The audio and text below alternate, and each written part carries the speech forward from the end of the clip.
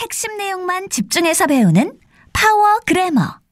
Chapter 8 동명사 Unit 4 동명사의 관용적 용법 함께 공부하는 친구 여러분 안녕하세요. 우리 투부정사 중에서도 독립적인 부사구로 쓰이는 것들이 있었죠. 자, 동명사에도 관용적 표현들이 있습니다. 예외 없이 정해진 형태라고 생각하고 덩어리로 기억하는 게 제일 좋습니다. 가볼게요. 1번 문장부터 갈게요. I will be busy preparing for the trip next Sunday. 나는 바쁠 것이다. 준비하느라. 다음 주 일요일 여행을. 자, 여기에서 나온 표현은 be busy ing라는 표현이죠. 이건 엄청 자주 나오니까 외워줘야 돼요. 뭐뭐 하느라 바쁘다라는 뜻입니다. 2번으로 가겠습니다. My father goes fishing once a month.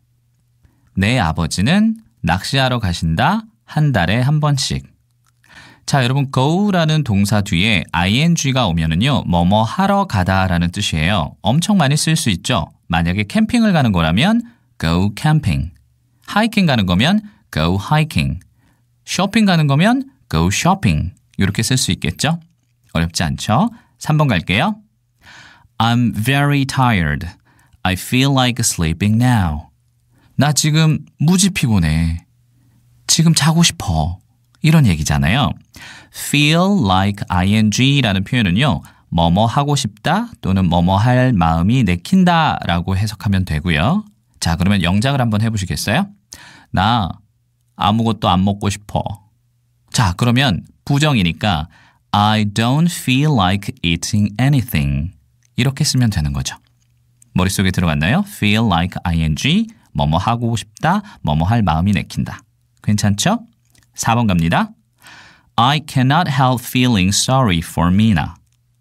자, 우리 이거 예전에 한번 배웠던 기억이 나는 것 같은데 cannot help ing는 뭐뭐 하지 않을 수 없다 라는 표현이었죠? 이것은 cannot but 뒤에 동사 원형 오는 경우와 똑같습니다. 그렇죠? 바로 5번으로 갈게요. It is no use worrying about the past. 그것은 소용이 없다. 과거에 대해서 걱정하는 거.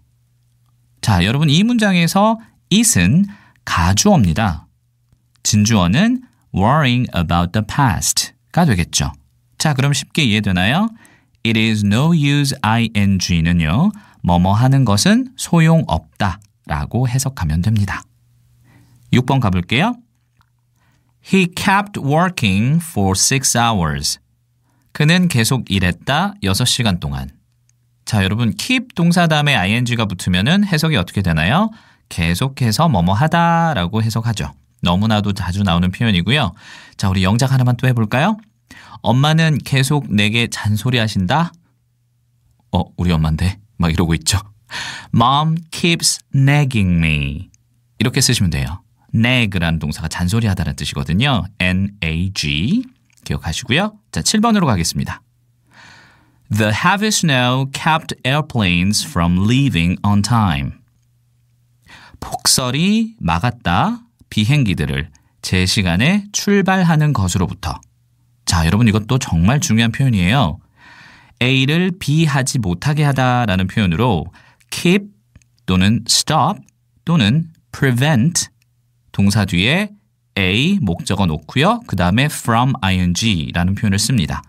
영장 문제로 충분히 많이 학교 시험에 등장할 수 있으니까 여러분 중요하게 기억했으면 좋겠어요.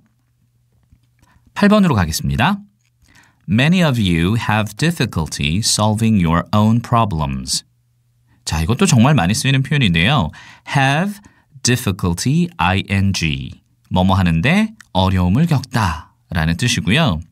중간에 오는 명사 difficulty 대신에 trouble이라는 단어도 상당히 많이 써요. 그래서 have trouble ing 뜻은 똑같습니다. 꼭 기억하시고요. 9번 갈게요. She's looking forward to meeting new friends. 자, 여러분 이 표현 되게 많이 봤을 것 같아요. look forward to 다음에 동사 원형이 나오는 게 아니라 ing 동명사 형태가 나와서 뭔가를 많이 기대할 때, 뭔가를 고대할 때 이런 표현을 쓰죠. 문제로도 가끔 등장합니다. 지금 문장에서 to meet 이렇게 쓰면 틀려요. 자, 10번 갈게요. There is no living in this world without money. 자, 이 표현은 상대적으로 나오는 횟수가 적을 수 있는데요. 그래도 정확한 해석은 필요하겠죠?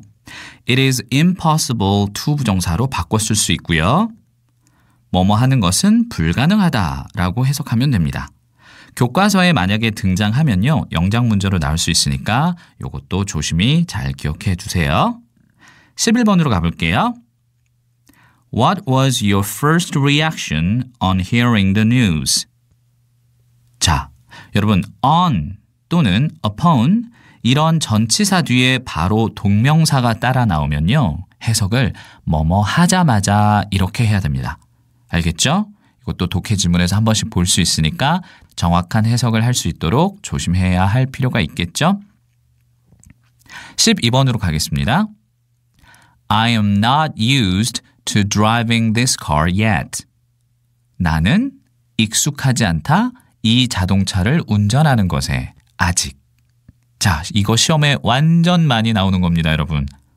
이거는요, 만약에 이 문장에서 I am not used to drive this car. 어떻게 될까요? 나는 사용되지 않는다 이 자동차를 운전하도록. 이렇게 되죠. 그런데 사람이 어떻게 used가 됩니까? 그쵸. 수동태를 쓰는 게 아니라는 거죠. 그래서 be used to 뒤에 ing를 써서 해석을 뭐뭐 하는데 익숙하다라고 합니다. 그런데 여러분 기억할 거 이때에는요 항상 사람이 주어로 옵니다. 생각해 보세요. 사람이 뭐뭐 하는데 익숙하다. 자연스럽죠? 정리하면 주어가 사람이 아니라면 be used to 다음에 ing 표현을 쓸 수가 없다. 주어를 보면 어떤 표현을 써야 되는지가 보이는 경우입니다. 헷갈리면 안 돼요. 시험에 많이 등장한다고 했죠? 자, 13번으로 갈게요. Is it worth trying to fix my computer? 의문문이죠? 자, 여기에 들어가 있는 좋은 표현 be worth ing 뭐뭐 할 가치가 있다라는 뜻으로 많이 등장하는 표현입니다. worth가 가치라는 뜻이니까 잘 기억할 수 있겠죠? 14번 볼게요. Cindy never drinks coffee without putting sugar in it.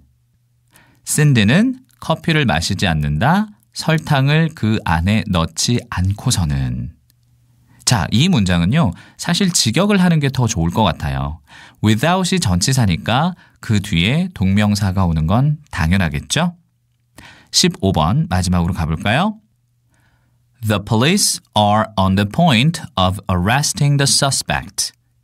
경찰은 지점에 있다 범인을 체포하는. 자, 이게 무슨 말이냐면요. on the point of ing는 뭐뭐 하기 직전이다 라고 해석하면 되는 거예요. 사실 이 표현도 다른 표현에 비해서 빈도수는 상대적으로 좀 낮지만 그래도 꼭 기억을 해 주셨으면 좋겠어요. 자, 이번 시간에 배운 동명사의 관용 표현들 중에서 선생님이 시험에 등장할 수 있다라고 얘기한 것들이 있죠. 그런 것들은 잘 표시를 해 두었으면 좋겠고요. 사실 이런 모든 관용 표현들이 다 많이 사용되는 것이라서 다 기억하는 게 제일 좋긴 하죠. 그 중에서도 시험에 출제될 가능성이 있다고 선생님이 언급한 것은 꼭 다시 한 번 더 복습을 해 주시기 바랍니다. 저는 이번 시간에 여기까지만 설명하고요. 여러분 열심히 복습해 주시길 바랍니다. 저는 다음 시간에 또 올게요. 고맙습니다.